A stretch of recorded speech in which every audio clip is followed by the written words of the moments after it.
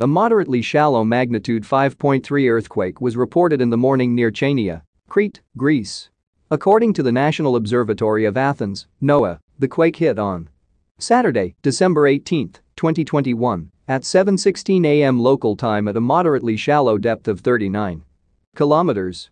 The exact magnitude, epicenter, and depth of the quake might be revised within the next few hours or minutes as seismologists review data and refine their calculations, or European Mediterranean Seismological Center, EMSC, which listed it as a magnitude 5.3 earthquake as well.